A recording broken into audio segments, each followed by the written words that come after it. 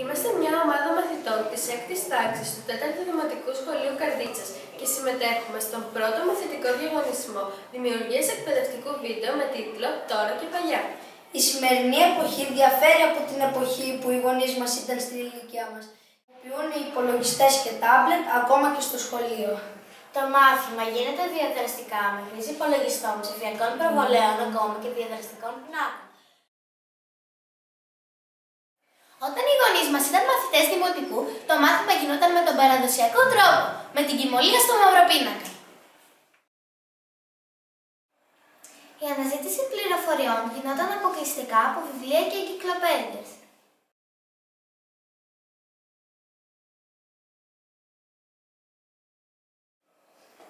Σήμερα η αναζήτηση πληροφοριών γίνεται με τη βοήθεια του διαδικτύου.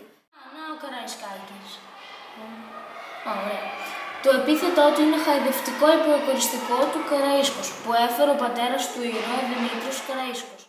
Οι γονείς μας δεν είχαν ιδέα τι είναι οι υπολογιστές και πολύ περισσότερο τι είναι κινητά τηλέφωνα.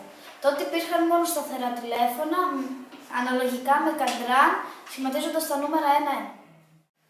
Υπήρχε μόνιμη υπηρεσία τηλεφωνίας και πολλές φορές γινόταν τραγελευτικά λάθη.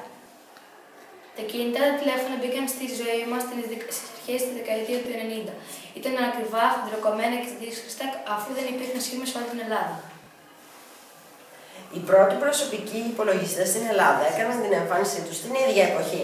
Δεν ήταν ευρέως διαδεδομένοι. Τους τους χρησιμοποιούσαν επιχειρήσεις, καταστήματα και κυρίως τράπεζες και υπηρεσίες. Ε, το πιο διαδεδομένο λειτουργικό σύστημα της εποχής ήταν το DOS. Από τότε η εξέλιξη ήταν ραγδαία. Περάσαμε στα Windows και σε άλλα λειτουργικά συστήματα, όπως το Ubuntu που χρησιμοποιούμε στο σχολείο μας.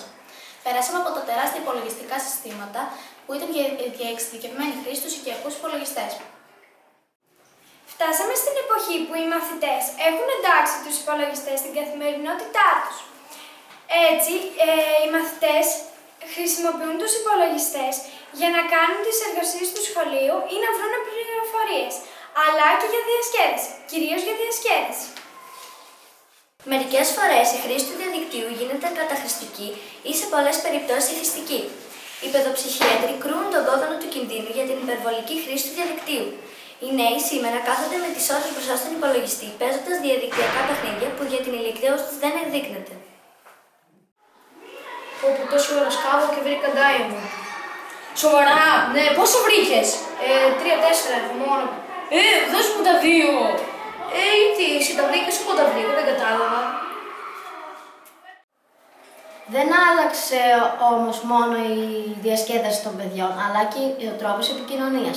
Σήμερα τα παιδιά επικοινωνούν σχεδόν αποκλειστικά με μηνύματα στο κινητό. Παιδιά, μπείτε Viber να μιλήσουμε. Δεν υπάρχει, με ακύρωσε. Παιδιά, στο facebook είναι ένας χαζός που στέλνει αιτήματα σε όλους. Μπήκα Instagram και έχω 100 like, αλλά στη δέσμηνο δεν μου έκανες like. Δεν σου έκανε γιατί ήταν βλακή αυτό που ανέβασες. Παιδιά, με στείλει έτοιμα φιλία. Όχι, έχασα! Οι γονείς μας είχαν άλλο τρόπο επικοινωνίας, άλλο τρόπο διασκέδασης. Κανόνιζαν ομαδικά παιχνίδια σε πλατείες και αλάνες. Μπαίνω, βγαίνω μέσα στην καμάρα και φωνάζω φίλε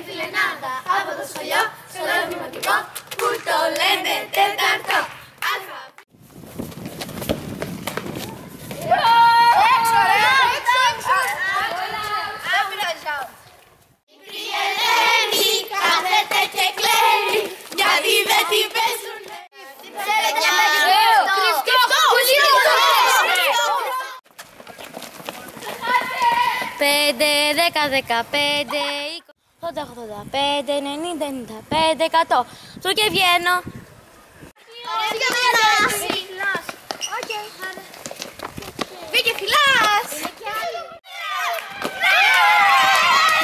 Η τεχνολογία εξελίσσεται ραγδαία. Καινούργια προϊόντα κατακλείζουν την, ε, την αγορά σχεδόν καθημερινά. Τα κινητά και υπολογιστές είναι πια μια καθημερινότητα για τους μαθητές. Επιβάλλεται όμως η σωστή χρήση. Όταν αυτά εφαρμοστούν, τότε τα παιδιά μπορούν να χαίρονται το αφήνει του διαδικτύου Χωρίς φόβο!